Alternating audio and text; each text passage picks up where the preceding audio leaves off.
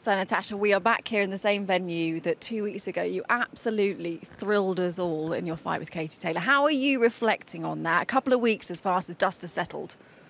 Yeah, I think, you know, I have watched the fight back just for scoring purposes only once. Um, and I, have got nothing bad to like reflect on. You know, I, I, only take the positives. There's a few things that I learned, you know, that I wouldn't do in the next fight. There was things I didn't do that I should have done.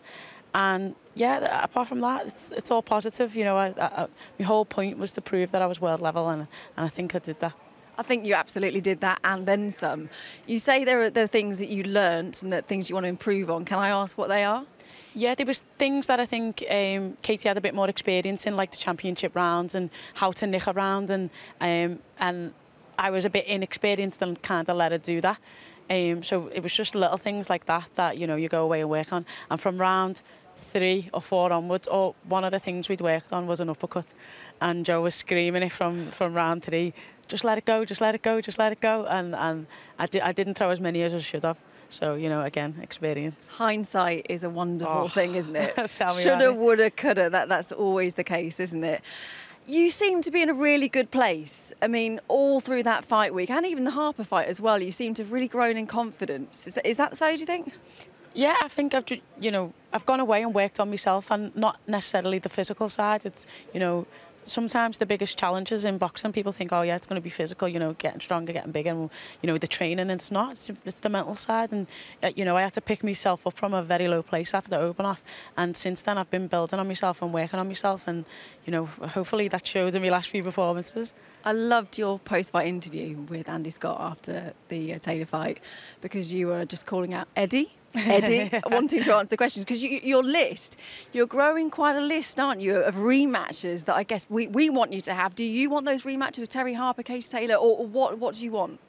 I'll have whatever fight, whenever like fight. List. Yeah, there's a hit list. Anyone who's got a belt, I've said it a million times. Anyone who's got a belt, 130 between 130 and 140, you're on the list.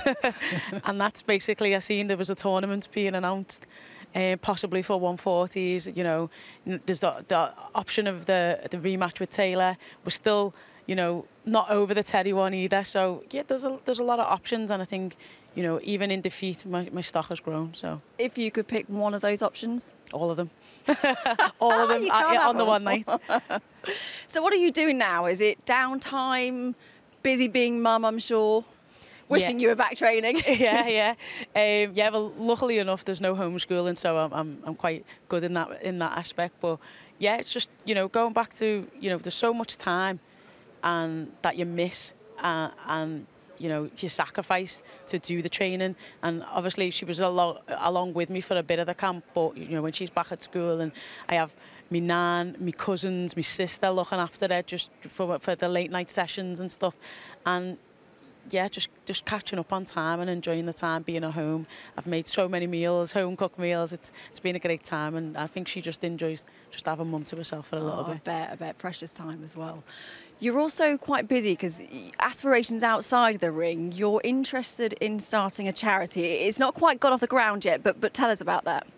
Yeah, it's just a, a charity. I'm I'm big on you know, giving back to the community in, in, Liverpool at the minute, we, we have a, a big issue with knife crime. I think it's you know, up and down the country, not just Liverpool. Um, and yeah, uh, you know, there's, there's certain members of the family that's been a victim of it, and you know, we want to work on that. And you know, if you've got a platform, that you should use it positively, and you've got the a voice to speak for other people, you should use it like, you know, um, Marcus Rashford does in, in the, the school campaigns meal.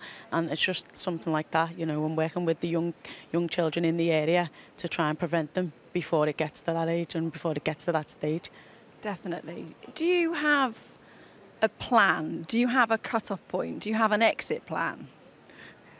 No, or if you really. do, you're not going to tell me, are you? yeah, no, no. I, I, mean, I've always said I want, I want a world title. Like it kind of defeats the object in coming back if you, if you go away again and you haven't hit the target that you set out to do. So, you know, once I've got that world title, I'll make that decision from there. If you know, if Saturday would have been different, who knows what would have happened.